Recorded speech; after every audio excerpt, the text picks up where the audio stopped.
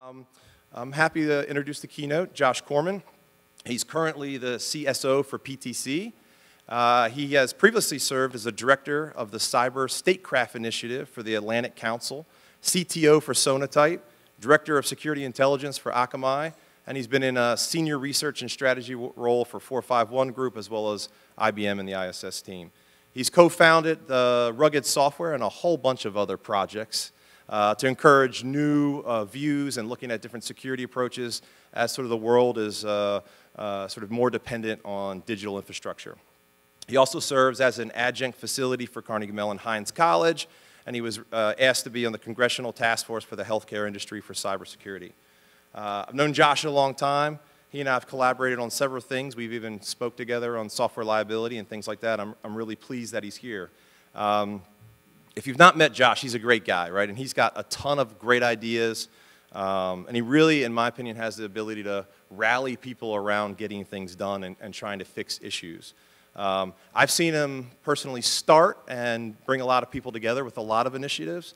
There's this one called I Am the Cavalry that makes my eye twitch every time we talk about it. Um, but while maybe myself and some others were initially skeptical of it, right, maybe it was the name, maybe it was something else, um, I can tell you that what he's been able to do is organize a bunch of people in the security industry to have a voice outside of the industry, into the government, into healthcare, and all those sorts of things. Um, so with that, does, does anyone now have kids where like you have like foul language at home and you have a swear jar where you're like you get you find yourself? Maybe some of you. Last night at the speaker dinner over a few beverages, what I told uh, Josh was that I would mention the Calvary but he was not allowed to say it once during this whole talk. And if he did, I was going to fine him $100 per time he says it, and we'll donate it to a local charity. So let's see how he does. Thrilled to have you here. If you can please help me welcome Josh to the stage.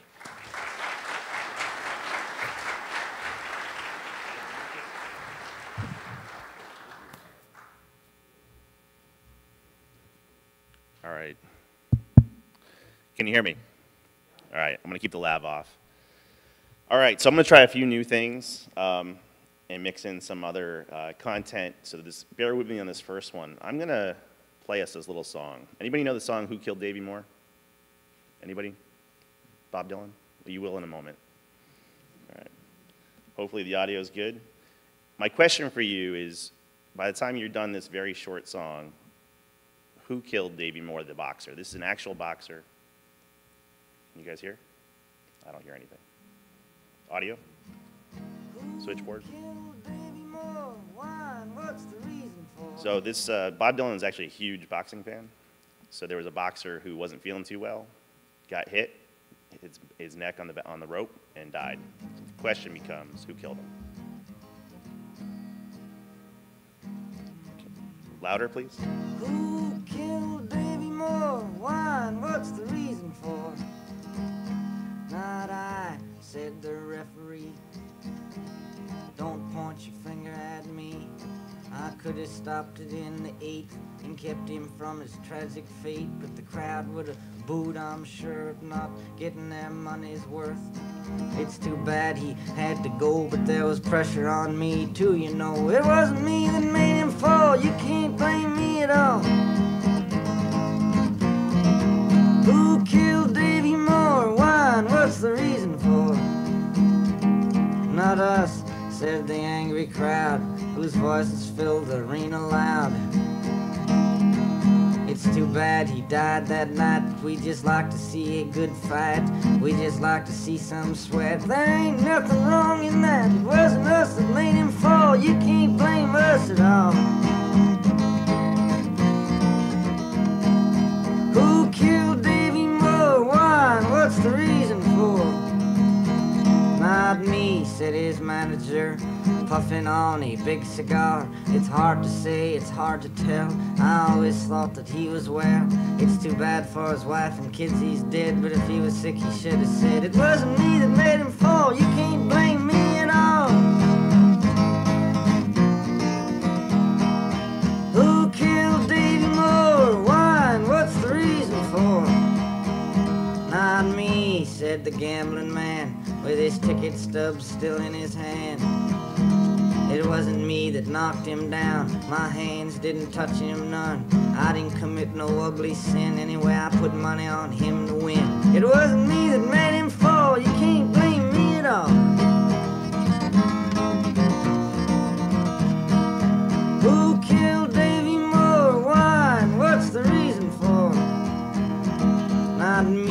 said the boxing writer who pounds the print in his old typewriter. Saying boxing ain't to blame, there's more danger in a football game.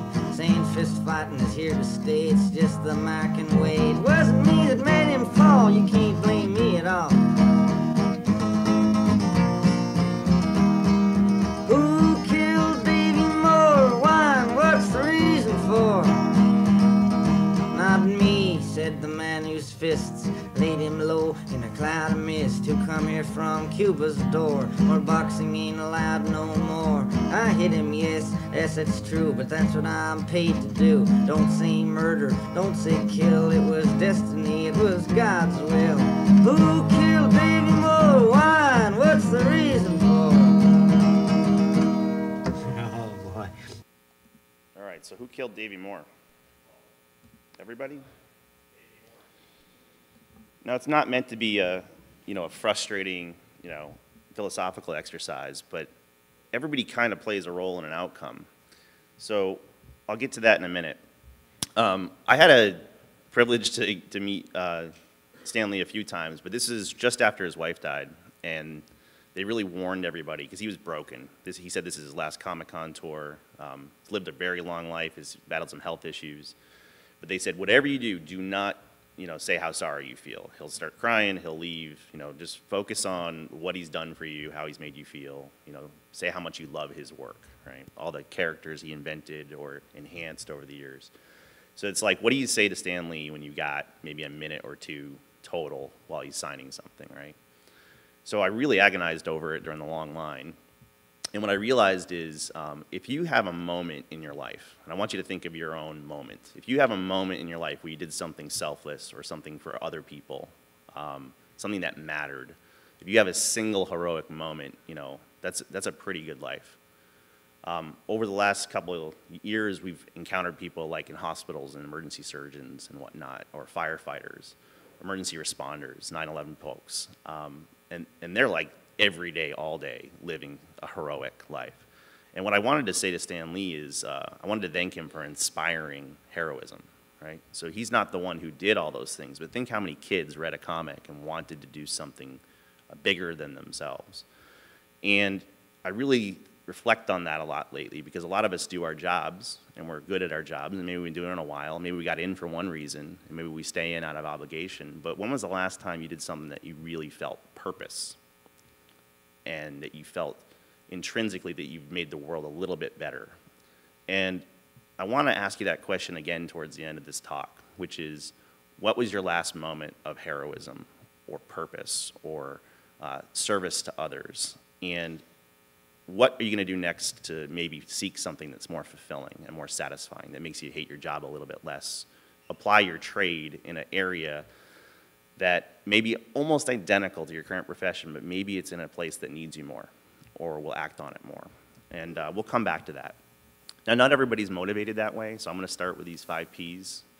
Um, we tend to use these when we talk to public policymakers because they like short lists. They like lists that all start with the same letter. So you're going to see a lot of things like that. So we talk about, um, we had an argument with the FDA. They said, why the heck do researchers like Billy Rios even bother to, to find flaws in a medical device in the first place? That, that bedside infusion pump can get somebody killed. Why would you ever even look? you know, what's their motivation? So I just went up to the whiteboard and I drew these five Ps. Now, this is not the comprehensive list, and I find that hackers are complicated. In fact, many of you are probably cringing at the term white hat because we know there aren't any. But um, when we talk to these guys, I say, look, it's, there's, there's no single motivation for hackers. Um, there are protectors that want to make the world a safer place, right? If they don't tell you about this flaw they found, they're going to lose sleep at night because they want to make sure no one gets hurt because of their action or inaction, right? There's puzzlers that do this for challenge and curiosity. That's why most of us got into this. Can I take the thing apart? Can I put it back together? Can I make it do something it wasn't supposed to do? Can I solve the Rubik's Cube? So a lot of us start as puzzlers, right? We do it for the challenge, right? The, the defining characteristic of a hacker is curiosity. Some of them do it, and I'm sure you can think of the names of the ones that do. They do it for prestige, right? They want to be the first to do something, or the best at doing it, or they want to get the, you know, the, the TV spot or whatnot. And this is a different motivation, and it works. And some of the best work we've seen has been done out of uh, the desire to, to be the, the guy or the girl that does this thing. There's also profit and uh, professional development, right? Personal gain. I want to do this because I want to make more money, get my own company, uh, grow my business, hire more folks. So that's not wrong either, right? But that drives some of us. And then there's, we, we quibble over this one. Is it politics, protest, or even patriotism? But some sort of ideology within the bounds of the law. Like, why are you doing this? So the, maybe the, uh, the well-intentioned members of Anonymous saw themselves as being, you know, principled or, or, or whatnot in their choices in protest. So again, protectors, puzzlers, prestige, profit, and protest. I find that most of us major in one of these and minor in another. So for my part, I want to be a protector. I want to do things that matter and make people safer. But I also like it if it's really friggin' hard. So the puzzler part of me likes to tackle the hard problems. And I'm kind of asking you to answer for yourself, what, what's your motivation? Maybe you got in for one reason, but if you're at all a protector or you want to be, then uh, I'd like to to pivot to the next part of this conversation.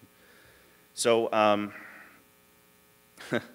when we uh, launched certain initiatives that shall remain nameless, um, one of the things I said to folks is uh, people will have to die first before any real substantive action will take place. So after four years of doing that, almost exactly a year ago, tomorrow, um, a bunch of us went to Arizona and we did what any self-respecting hackers would do. We killed somebody. Killed three people, actually in an ER simulation. Um, that's a dummy. Um, and I'm going to talk a little bit about that. But what we had to do is create a visceral experience for healthcare professionals who had previously thought this was science fiction, movie plot, FUD, you know, that no one would ever hack a device. You couldn't do it. Even if you did, we'd be fine. And we wanted to do what any good hackers do. We want to uh, break assumptions. We wanted to challenge those assumptions and see what would happen. So we watched that video from Bob Dylan, right, who killed Davy Moore. Um, and I had to have an, uh, a very awkward conversation with Viss yesterday. Anybody follow Viss? Dan Tentler? Anyone not follow Viss? I think everyone's going to follow Viss after this. Um, one of the things that Viss likes to do is Viss likes to go on Shodan. Anybody here not know Shodan? Okay. Uh, Viss likes to go on Shodan and find reckless and irresponsible connectivity either really old unpatched services or ports that shouldn't be exposed. And you know, Shodan, instead of looking for cat pictures or PDFs on the internet, looks for connected cyber physical systems. Yes, I said cyber. I'm going to say it a lot because when you talk to Congress critters, you got to use the word cyber. Um, so, but let's walk through this little story from yesterday because it's uh, it's uh, all too scary, right? So it started with a VIS, uh, Dan Tentler, that's his little avatar. Uh, Viss wanted to show us something, so he used Shodan to find uh, what reckless thing can I find today. We had a fight about this. Uh, then he wanted to show us how to get busy. Um, specifically, he, he turned his eyes to BusyBox. Everybody knows what BusyBox is? Pretty popular remote administration package. Um, and that's pretty harmless. You know, I cringe every time I see something from his Twitter feed. I'm like, what script kiddie's gonna go play with this and get somebody hurt? Um, and it's just a matter of time, right? Like, why would you put a big blinking arrow kick me sign on something connected on Shodan that's vulnerable and exposed? But usually that's where all it goes. But does anybody know what the janitor, who the janitor was? I mean, here a BrickerBot. So he retired after doing the Bricker bot to clean up the Mirai botnet mess, right? The Mirai botnet was a whole bunch of internet connected uh, cameras with hard-coded credentials that the bot harvested. Uh, they were unpatchable devices, so internet connected, uh, hard-coded credentials, and unpatchable. Quite a little cocktail, allowed for the largest botnet at, at, in history at that point. And that botnet used 1 20th of its population to take out Dyn DNS and half the internet for a day in October a year ago. And uh, it, that 1 20th of the population only used 1 20th of its attack capacity. So a 20th of a 20th of a bunch of cheap IoT cameras um, did a lot of damage, scared a lot of people. So he wrote BrickerBot, the janitor, whoever he or she was, and uh, cleaned up the mess by physically destroying a bunch of these low-cost, low-hygiene devices. So it comes out of retirement and says, all right, I'm going to pick on Viss's Shodan search for BusyBox. And guess who else uses BusyBox besides a whole bunch of cheap IoT devices? I've seen it on t-shirts in the room. Uh, there's a ton of medical devices that use BusyBox. There's a lot of very expensive quarter million, half million dollar imaging systems that use BusyBox, and you can find them naked on the internet with certain search tools. There's a whole bunch of bedside infusion pumps that give you morphine or calcium blocker or some sort of drug drip using BusyBox connected to the internet. So that version of Brickerbot killed Davey Moore yesterday. Um, went in for heart condition, got a calcium blocker drip, supposed to take three hours, emptied in 30 seconds. 30 seconds for three hours. So that excessive dose caused cardiac arrest, and now Davey Moore is dead. Now, of course, this is a fictional uh, scenario, but it's all based in truth. Those BusyBox old versions are, in fact, A, in medical devices, B, in uh, network exposed cases for hospitals with no security staff, and C, um, discoverable on Shodan, and D, we've had uh, people like the janitor write Brickerbot to do mass cleanups of these low cost, low hygiene devices. So has this happened today or yesterday? Could it happen tomorrow or a week from now? Are there any technical barriers to this happening? An overzealous, overreaching, accidental compromise? Um, so it's a little bit of an experiment, but it, let me ask you in this particular case, and I'm going to dwell on this for a couple of minutes here. Who killed Davy Moore in this case? Who do you think the public will blame when they want a scapegoat? Who's going to get screamed at when that bedside infusion pump kills Davy Moore? Anybody? So the first answer is Viss, I heard. So Viss will get blamed. All right, we have another answer, which is the hospital's fault. Maybe they should have gotten their SOS, their stuff off Shodan, right? Who else is to blame? The manufacturer. I mean, they're the ones who chose BusyBox, right? Maybe didn't patch it, keep it up to date. Who else is to blame? The regulators? Why the regulators? Huh?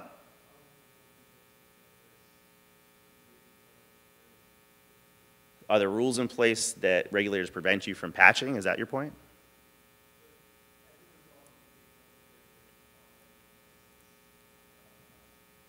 Okay. Uh, by the way, it's a, it's a lie and a myth that you're not allowed to patch FDA-approved devices for security issues. Uh, people used to believe that. Now they know better, and they still tell you a lie because they don't want to give you patches, or the hospitals lie because they don't want to apply the patches. But uh, it is not the case that you can't patch. What else? Anybody else going to get blamed? All right. Do we, do we bear any responsibility? What about Shodan? Should Shodan be eliminated for making it so easy to find stuff? Okay, what about BrickerBot, uh, janitor? The janitor caused the harm? He's the one that wrote the bot, right? I'm not sure who's going to be blamed in the court of law. I care more on a moral position here. Um, now, I'm going to share, I have to be very careful how I say this. I'm going to, my experience in ways that many of you won't really see is after, for five years now, in, incredibly intensely trying to change public policy with regulators and, and Congress critters.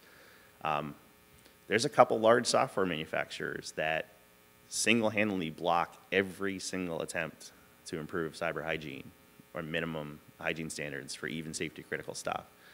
So there's a couple uh, folks through the U.S. Chamber of Commerce and some of the software trade associations that no matter how hard people work to try to make these things a little safer, a little better. Um, they actively block that. And talk to me tonight at the bar. Uh, the, uh, uh, there's some very aggressive uh, government affairs and lobbying going on to keep the status quo. But to quote Dr. Horrible, the status is not quo. um, things are messed up, and they're getting worse. And one of the lines, the formative lines for the organization that shall remain nameless, is uh, our dependence on connected technology is growing faster than our ability to secure it. So think of every Christmas how many new IoT gadgets get added. Think every year how many new medical devices have hyperconnectivity, more functionality, more remote administration, more uh, predictive analytics and maintenance. Uh, think how many factories are getting connected to the web. Think how many uh, oil and gas refineries and pipelines. Um, so as we do that, um, it's increasingly necessary that our best and brightest from cybersecurity ranks help be that voice of reason and technical literacy, help be that helping hand and educator and ambassador and translator into FDA, into the Department of Transportation, into Congress, into the European Commission.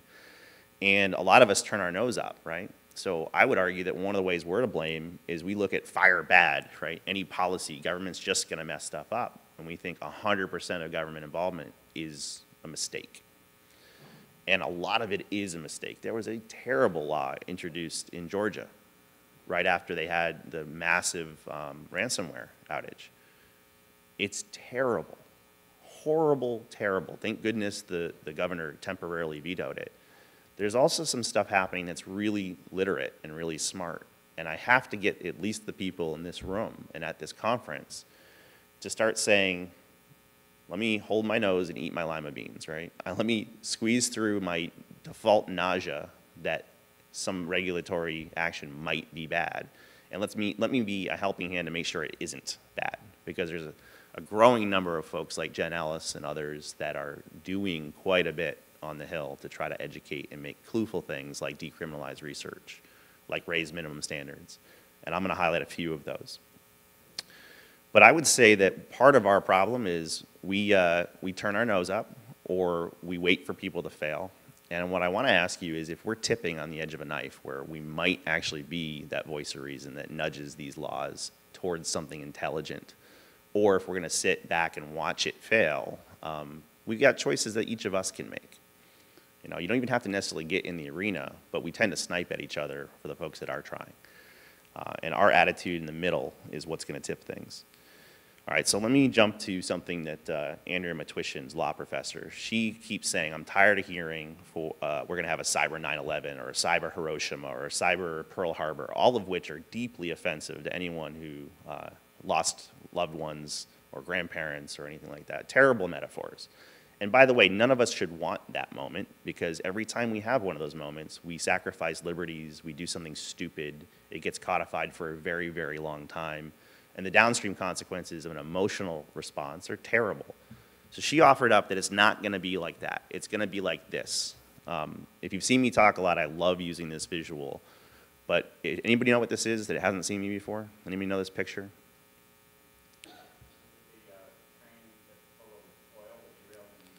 It is not the train full of oil that derailed in Canada. Anybody else? One more guess? All right, this is a, uh, a river on fire. This is the Cuyahoga River in Ohio. This is where the Rock and Roll Hall of Fame now stands in Cleveland. This river was so polluted from all the factories and the whaling on the riverbanks. It was so full of junk that it caught on fire.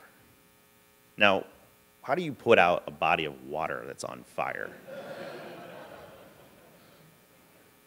I'm sure there's a way to do it. They did it. And, and, and one of the reasons I'm sure they did it is while this photo was snapped with the billowing black smoke uh, and it tipped public consciousness, this was not the first time it happened.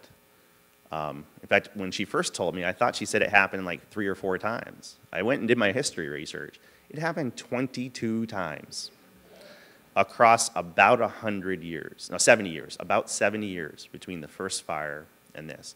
And maybe you'll say, well, they could ignore it because it never did any damage. It actually burned bridges down, plural times. It burned factories along the riverbanks. So there, wa there was harm, there were damages. Just nothing really said to them enough is enough until finally the right picture was taken at the right time. And this led to two things, the Clean Water Act and eventually the formation of the Environmental Protection Agency. And some of the things they did in the emotional public outcry were pretty bad ideas that are still in the books. But it takes a series of fires to tip consciousness sometimes. So she says, we're not going to have a Pearl Harbor, we're going to have a cyber Cuyahoga. So, and I, I, I think she's right. And the good news about something like this is each new fire gives us a chance to maybe do more preparedness so we don't have an, a big overreaction.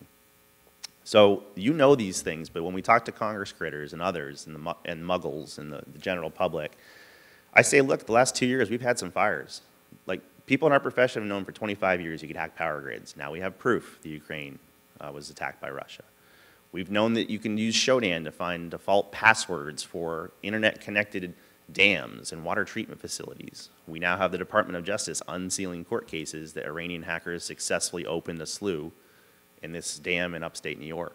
There was no water in it, and it at most would have flooded a golf course, but why the heck are Iranian hackers trying to open dams? We know that hospitals are wildly prone, and about two years ago, we had Hollywood Presbyterian shut down patient care for a week in LA. Now, they had to divert ambulances to other facilities. Can you imagine you have a, a you're bleeding out in the back of an ambulance and you have to go blocks away in LA traffic to get care? Do you think time matters when you're bleeding in an ambulance? It's not even just that they had to divert ambulances in excess capacity. They actually had to move critical care patients because they could not administer health delivery services for a week. And if anybody uh, hears Jake or myself talk about software supply chain or open source software vulnerabilities or complain that CVE has huge blind spots for third party and open source libraries, that particular ransomware was a single Java deserialization flaw in a single JBoss library in a single medical technology. One single known vulnerability took out a whole hospital for a week. No one was trying to target hospitals. In fact, prior to this, there was really no targeting of the healthcare industry for ransomware. But when they accidentally landed in a hospital environment, the ransom crew said, oh, wait, they have no security. Let's deliberately start targeting uh, hospitals. And now healthcare is the number one target of ransomware in the world. It went from nothing to top target. So I saw Hollywood, Hollywood Presbyterian as my final enough is enough. And one of the reasons for that is uh, Jericho, Attrition.org, and I spent quite a bit of time researching the rise of hacktivism and Anonymous. We wrote a series called uh, Building a Better Anonymous. And we engaged the collective. And we pointed out there's very, very, very, very few hackers in the, in the movement. And there are actually very, very, very few activists, too. Um, but one of the small hacking crews out of the UK was called Team Poison. This was their flag. One of the members of Team Poison uh, went to jail for hacking Tony Blair's website. His name was Trick, T-R-I capital C-K. And uh, in our series, towards the end, I started getting dark and I started warning. I'm less concerned about Anonymous as they stand now. I'm more concerned about the blueprint that they represent because someone will adopt and perfect that blueprint. Well, I thought theoretically, eventually, maybe an extremist group would be inspired by uh, the blueprint of Anonymous. What I didn't realize is an actual hacker who went to jail for hacking uh, Tony Blair's website, not a very talented hacker. During his jail time, he radicalized, and this UK Birmingham uh, honor student named Trick, Junaid Hussain, uh, moved his punk rock Anglo-Saxon wife and child to Raqqa, Syria, and he was the founder of the Cyber Caliphate. In fact, uh, Vince over there is in a documentary on, uh, on this in, on CNN when they finally told uh, Trick's story. Um, it's way too scary and way too easy to see the rise of Trick. And out of 7 billion humans, it doesn't matter what most of us would do. It matters what one of us would do. And while he focused most of his attention from Anonymous on recruiting and use of social media, and while the US intelligence community is mostly confounded at how we invented social media, but the cyber caliphate and ISIS was making much better use of it as an asymmetric information operations type thing. Um, but if you watch this, and I highly encourage everyone to watch this, like I thought we had every picture there was. She found some live video of him in a, in a rap video um, with dead eyes, and one of his best friends was that rapper, and they talked about what the heck happened to him, and could you talk him off the ledge, and it's just way too easy to make another trick. So Trick was killed by a drone strike. In fact, when he was killed, he was number four on the, the Allied kill list. So I'm happy that Trick is no longer on this planet. The sad news is, is, several of his recruits have also had to be killed by drone strikes, and they're not gone. In fact, uh, the, the UK intelligence guys said that they paid him dollar for dollar the same as they paid their battlefield soldier uh, leaders. So they prioritize his effectiveness at recruitment uh, as highly as they did the people who risked their lives. Now, he ended up taking a drone to the face, so he ultimately did pay with his life. But it's too easy to train and recruit someone to get a, a laptop, use Shodan, find something with hard coded passwords. Hacking isn't even required. Just log in and have the willpower to do this. So we've always had an attack surface, but that attack surface is growing. We've always had the means, and the barriers to entry for those means are dropping. But what Trick represented to me is someone with the motive to take life in cyberspace. So when I saw Hollywood Presbyterian, I said, if an accident can take out a single hospital, what could Trick do? And that's when uh, a couple of us quit our jobs and went into the public uh, policy think tank for a two-year surge to try to push much harder, much faster on being more resilient for such an inevitability because I asked, I said, are there any technical barriers to a sustained denial of patient care on any or all hospitals in LA or in the country? And on the healthcare task force we formed, that was the very first meeting, and no one in the room could come up with a single technical barrier. I said, so our mission is not to make HIPAA suck slightly less. Our mission is to recognize that we have more incentive to have a corpse with their privacy intact than we do to protect patients and patient care. So we're going to focus on where bits and bytes meet flesh and blood. And that's what we did for a year and a half. Now, our concern wasn't that this would happen. In fact, in a couple slides, you're going to see it got worse since Hollywood Presbyterian.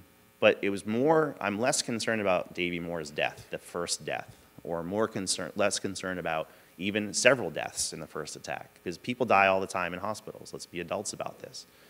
I'm more concerned that a crisis of confidence in the public will cause a retreat from otherwise superior connected technologies. These new medical breakthroughs are awesome. Self-driving cars are going to save so many more lives. Humans are terrible drivers.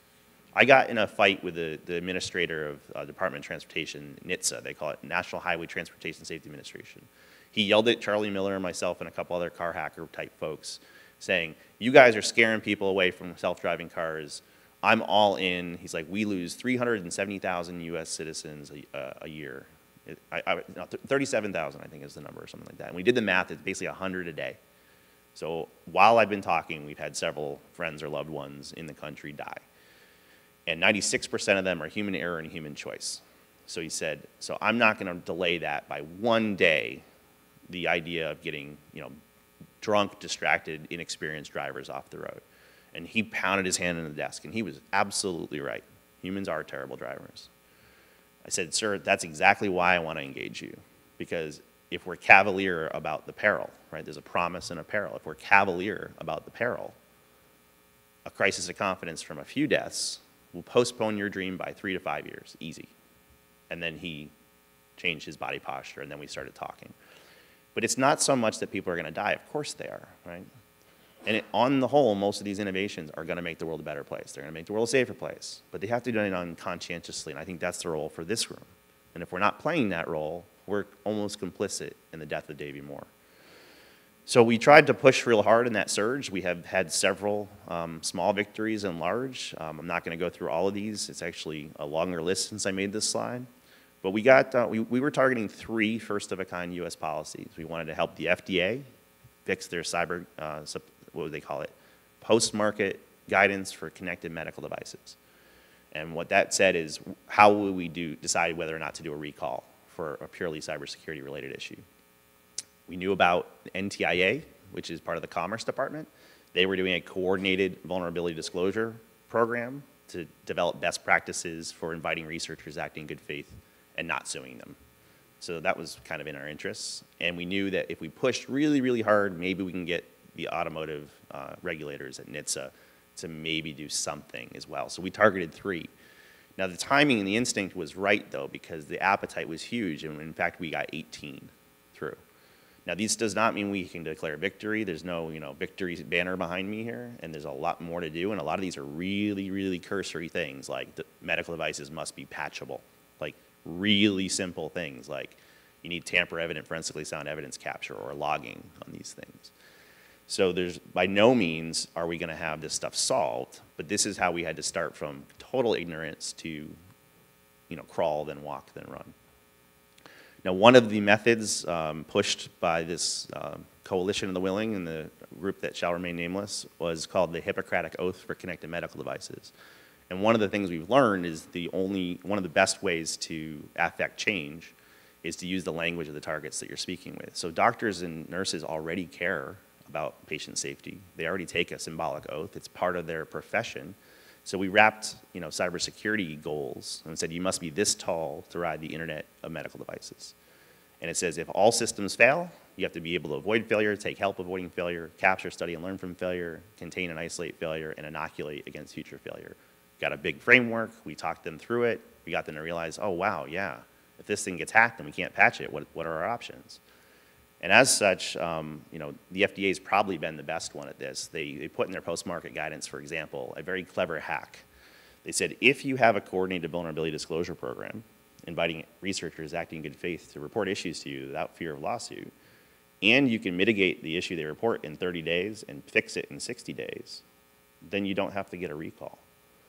So they didn't say you have to have a coordinated disclosure program and you have to work with hackers, but you, they basically said you're an idiot not to. And a lot of device makers said, we can't do that. It takes us you know, 180 days to do our QA cycle. We can't possibly do this. And she said, fine, then don't. I'll just give you a recall. So if you have a vulnerability, an unmitigated pathway to harm was the phrase, I'll give you a recall. And you know what they all did? They all went back and they said, how much can we compress our QA cycle? And one of them got it down to 45 days. And then they came back later and they got it down to 15 days. So without that impetus and that pressure to say that the mean time to exploitation is now measured in days or, or weeks, but the mean time to resolution is measured in months or years, we're screwed.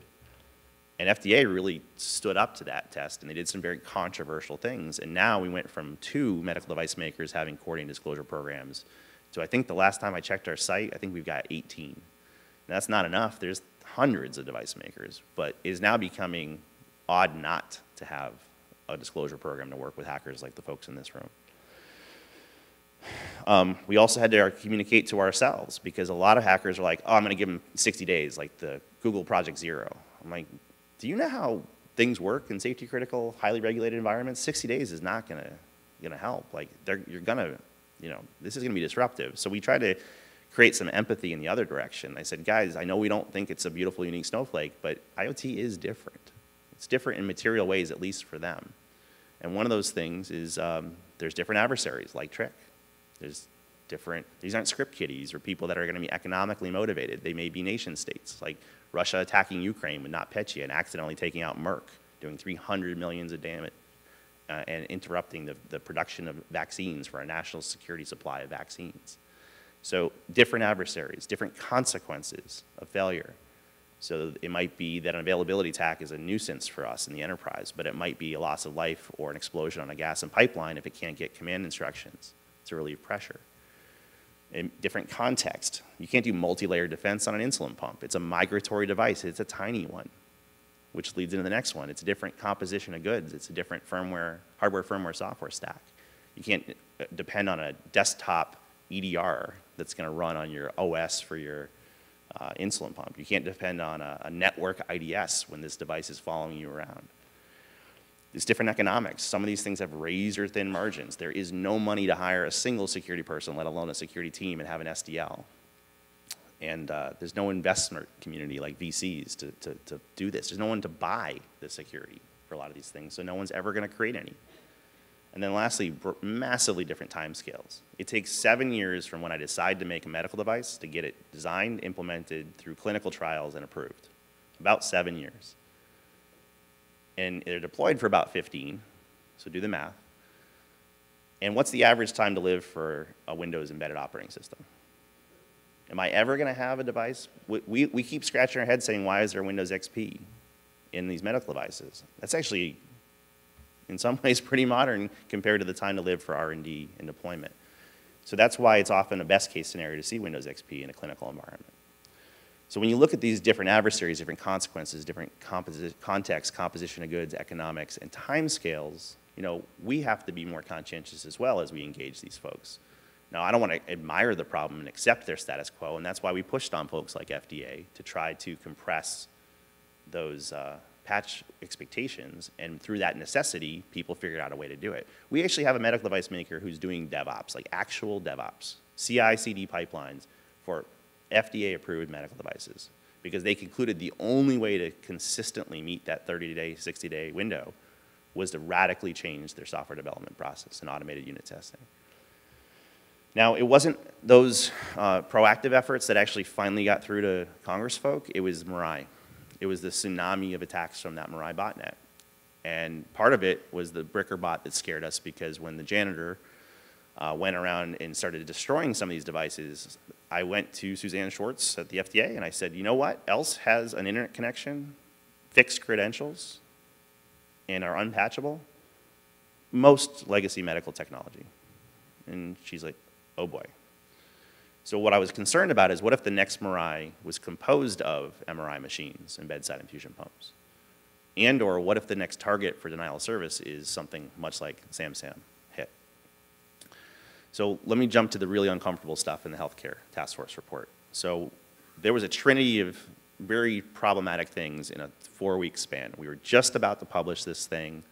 It was actually supposed to be May of 2017, but on Mother's Day weekend, almost exactly a year ago, the well, we'll get to that in a second. So this healthcare industry task force report, we had to get consensus across 21 people. Some of them were surgeons or chief medical officers. Some were medical device makers, large and small. We had a pretty wide swath of, uh, of um, professionals involved in this thing. And some of them were incredibly risk averse and didn't want to say anything that could look bad on their industry, but they all unanimously agreed to this graphic. And if you can't read, I'm going to summarize this for you. Healthcare cybersecurity is in critical condition unequivocal statement. The top five uncomfortable truths we chose to put in here out of the 20 something that we had flagged are that there's a severe lack of security talent. Our estimate is that 85% of the health delivery organizations, HDOs, 85% lack a single security person. Not one. Now, I don't know about the facility next door, but the, what we found is the large ones have teams. They're not big teams, but the small, medium, and rural have nobody. We said, well, wait a second, what about HIPAA? And they said, yeah, they require you have a designated ISO or information security officer. But what we found is it's usually a nurse. And I'm not belittling nurses, they, they're doing their best. But they, the one that was considered the best in the country at being an ISO as a nurse, she said, can you guys give us a CISSP crash course boot camp for three, for three days? I said, no, I don't think we can. And she's basically just self-taught best she could. But the overwhelming majority of our health delivery organizations have zero security people on staff. There is no one to take the InfraGard notice that a new ransomware is coming. There's no one to apply patches. The segmentation isolation that we would normally do doesn't happen. So number one, 85% lack a single person, and we have no idea how to solve that, by the way. Number two, legacy equipment. So this is why our Windows XP is often a best case. They're starting to get to Windows 7 in some cases. A lot of them are giving up on Windows and going to Android. Not necessarily better. The third one is that HIPAA broke everything. Uh, the HITECH Act, the race to have connected medical devices um, was basically the push for electronic health records. So what they did is they did not design or architect brand new devices. They took existing devices and they slapped in a connection on it. Uh, and they did it in a very brittle way that's usually very in, poor on interoperability.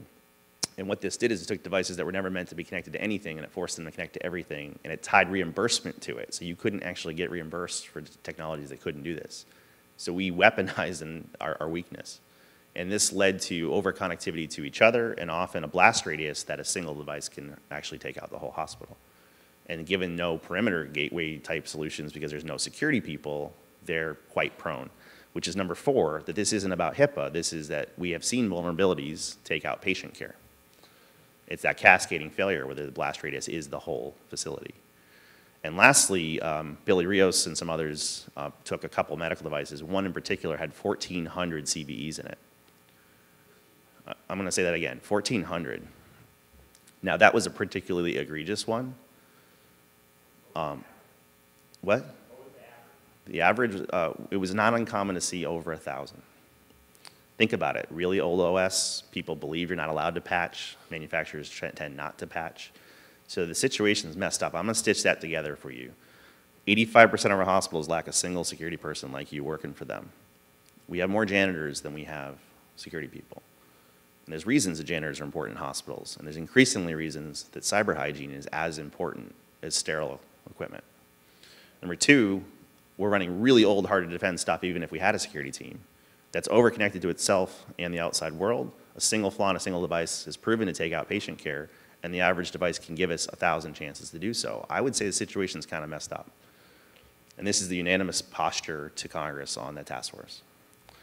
So I got in a fight with a medical professional in our industry who said, stop blaming us, it's not our fault. He goes, we can't afford it. And just flippantly, I didn't mean to be flippant, I said, well, if you can't afford to protect it, then you can't afford to connect it, right? And it wasn't to judge him at all, even though that's how it was taken. It was to say, look, I might want to drive a tractor trailer truck, but I can't, I'm not allowed. It's an awesome responsibility with driving something that big. So I have to go get tested. I have to prove I can do that. I might want to drive a, a, a, naval vessel. I can't. I have to prove I can be a captain. So the question started becoming what's level of commensurate connectivity? So I went, went back to my Stan Leeisms and I said, okay, let's do this one instead. And no one got mad about this one. But as we were about to publish this report, and I gotta go a lot faster now, um, this happened. So Mother's Day weekend, um, pretty terribly written, pretty cruddy not very impressive piece of ransomware that was wormable. It took advantage of the EternalBlue flaw um, for open uh, SMB. And um, while not targeting healthcare, the industry hit hardest was healthcare. 81 hospitals in the UK in four hours. 81 hospitals gone, unable to deliver patient care, including stroke and trauma centers. And if you know anyone who's had a stroke, um, you have about three hours uh, before uh, permanent damage or death.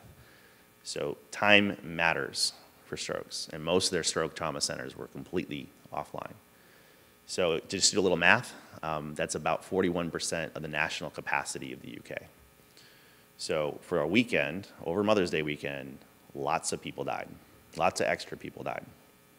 Now, how do we know that? Now, we don't know Davy Moore died. We can't point to which person would have or lived otherwise. But there was a study in Boston Marathon. They eventually showed all four different marathon cities.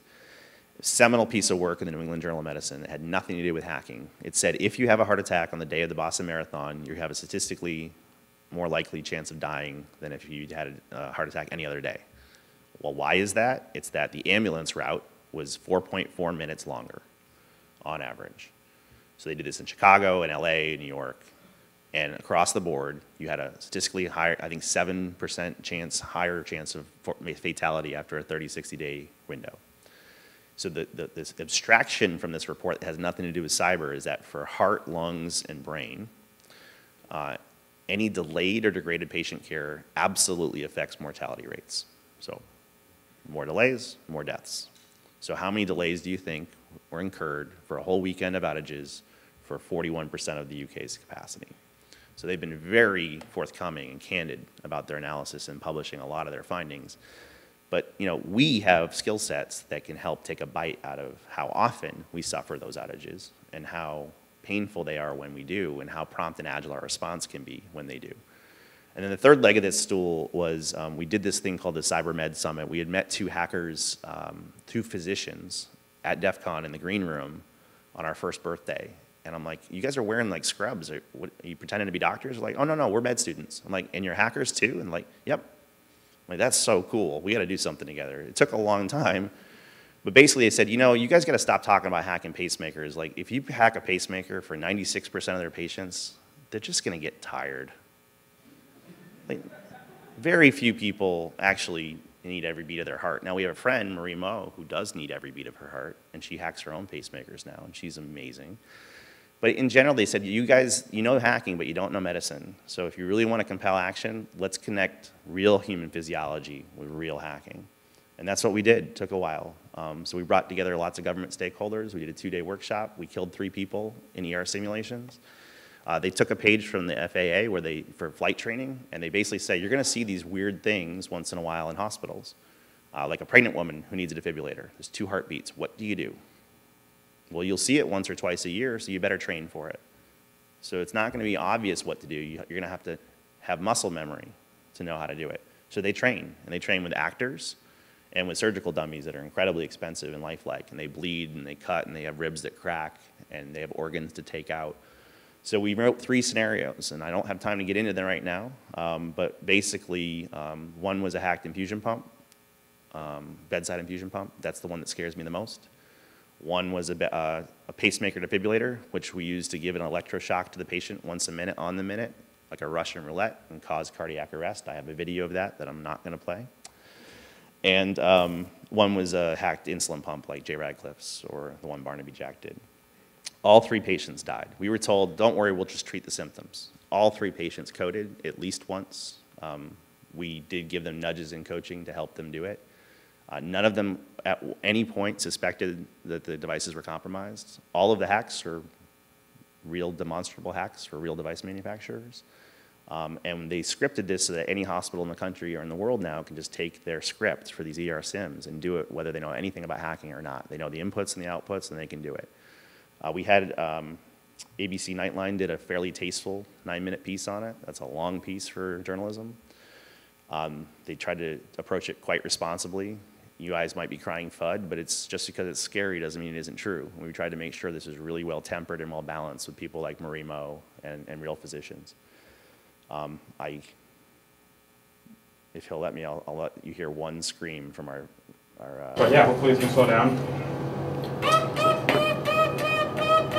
Everyone This knows what's going on except the guy in the white We coat. have a 74-year-old male with chest pain, history of heart pacemaker intact with a paced EKG, no STEMI. All right, I don't see how to. talk about that 15, blood pressure 150 over 75, heart rate 20, respiratory rate 20. We'll be there in All right, I'm not. gonna do this. Yes, we copy. All right, I'll Hi you there. 30 seconds. I'll go the first screen. So what's going on? Uh, this is a 74-year-old male. Uh, started having chest pain approximately 30 minutes ago. Non-personal watching TV. He does have a history of two MIs. He also has a third-degree heart block, which he had a pacemaker case. I'm going to lay you down so we can move you over. Okay, and we got the setup. All right, you're not going to hear the scream today. Um, look, we wrote the thing. We knew what was going to happen, and it still screwed us up. Um, but we will make all those videos available. The second thing we did, though, in some ways was scarier, but no one put it in the, the TV show. We did a tabletop where we said, we're going to do a ransomware event on this hospital we're all in with the state and local authorities. And then we're going to do round two. We're going to take out all the hospitals in the city because you're all using the same stuff. So why do you think you're going to be lucky enough to divert ambulances? And then the third round, we were going to add a physical attack, like a bombing, like a Boston Marathon bombing to the Arizona Diamondbacks Stadium. We knew they would flip to what's called a mass casualty event, where they only save the savable. You just write people off. We just didn't know when. Um, turns out they flipped to a mass casualty event in the first 10 minutes. Let me tell you why. This is why fire drills are important. All we did was log into the building automation software with the default passwords that you can Google. We didn't actually hack, we just logged in. And we said, pay us this much Bitcoin or you can't use your buildings. And two things happen. One, no elevators means no surgeries, it turns out. You got to get people to the surgical floors. No elevators, no surgeries. So anyone who needed surgeries was shipped up the street or out of luck.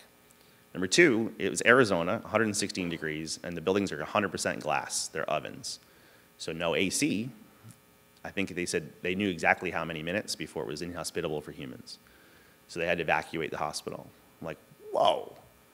So then we said, well, at least we can have the National Guard set up a facility in a nearby gymnasium. And they said, actually, no, because you also took out our electronic health record system with a default password, which we did. And the, the chief medical officer says, we got this. We'll just use paper copies, which is, by the way, what they tell Congress every single time they're asked, are you prepared for disaster? They say, yeah, we'll just use paper records. So his lieutenant leans over and says, uh, sir, we can't do that. And he says, why not? We've been doing, I've been doing medicine for, you know, X, X years. And he said, you told us to stop teaching medical students that seven years ago. None of our staff has ever seen one. So they had paper printouts, but they don't know how to read them, and they certainly don't know how to write orders. So then he turned white. So between the building automation passwords, nothing but default passwords, we flipped to a mass casualty event for the city in round one. The rest was just insult to injury. Now, I'm going to very briefly give you some lima beans. I'm not advocating for this bill. In fact, I think Senator Warner spoke to you guys. I'm just telling you it exists because I had an argument with several of you. Uh, you normally do this one-on-one Socratically. Someone said, oh, that stupid IoT bill, it's so dumb. It's not going to fix anything. So this was a response to the Mirai botnet. Remember what I told you happened with the Mirai botnet? It was low-cost, low-hygiene IoT that had an internet connection, a fixed password, and was unpatchable. So I said, fine, if you think the bill's stupid, what would you do? What would you like to see? If you could write a piece of legislation to make low-cost IoT safer, to not make another Mirai botnet. And there's lots of stuff you could do. You could do carriers and stuff, and you can do network, and you could have BrickerBots and whatnot. So maybe things should be patchable. Would you live with that one? It's like, okay, yeah, I could see that if the government wants to buy stuff, they should buy patchable stuff, all right? Well, what if we forbid hard-coded passwords? Would that be reasonable? And most people will say, yeah, it's probably not a good idea to have fixed passwords you can't change if you want to. I'm like, okay, should you be able to sell something that has, you know, 100 known vulnerabilities from 10 years ago? Well, no, it should probably be, you know, healthy when you sell it. I'm like, okay, we'll figure out what that means. What about hackers? Should, what, could we crowdsource and find a lot of bugs in these things so that they're found by good guys before they're found by bad guys? You know. Oh yeah, well that would be cool. So what if we required they all had coordinated disclosure programs before you could sell to the government? Like, oh yeah, yeah, hacker rights, yeah. I'm like, well, you know, a lot of these guys, they don't have big staff. They're probably going to try to roll their own crypto if they have crypto at all. It's like, oh, no, they should to use, you know, industry standard crypto. I'm like, okay. I'm like, that's the bill. Now, I'm not saying it's perfect. There's some big problems in it. But, like, you had a senator basically say, I don't want anything sold on taxpayer money to the federal government that doesn't have a coordinated disclosure program. And Katie's going to talk tomorrow. I mean, when you have senators pushing the embrace of coordinated vulnerability disclosure programs. That's, that's, that should be something we like, and yet how many people told me this bill's you know, stupid? Um, and if you really want some hilarious stuff, listen to the guy on the end from the U.S. Chamber of Commerce, Matt Eggers. Um, he gets cornered by Will Hurd of Texas, who came to DEF CON last year, by the way, just prior to this um, testimony.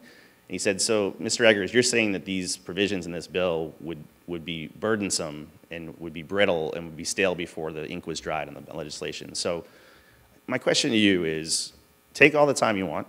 Can you name a single use case for any of your constituents, past, present, or future, where it's acceptable to sell the US government a product with a password of password that I can't change?